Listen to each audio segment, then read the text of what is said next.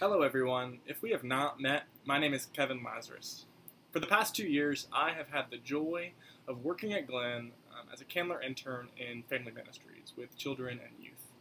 Um, I have just graduated from Candler with my master's in divinity, and I am here now to update you on what is next for me post graduation.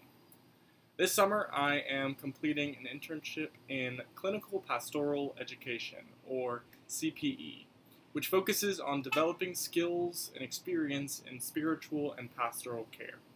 As such, over the course of 10 weeks, I'm serving part time as a hospital chaplain through Wellstar Hospitals, virtually due to the current pandemic, and part time at Glenn, continuing my work with children and youth while also focusing on congregational care.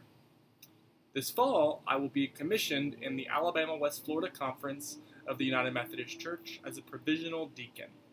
That's a mouthful. Um, so if you don't know, um, deacons in the UMC, like Reverend Susan or Reverend Brent, for example, are ministers that find their own appointment, whether that's inside or outside of a local church.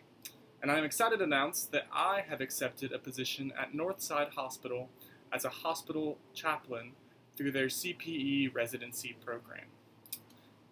So starting in mid-August, I will serve full-time over the next year as a hospital chaplain.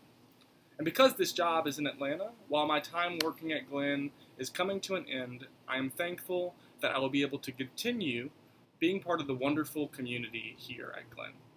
You all have provided a, home for me during my time at Candler, and I look forward to another year of journeying alongside all of you. I pray you all stay safe and healthy, and you have a great week.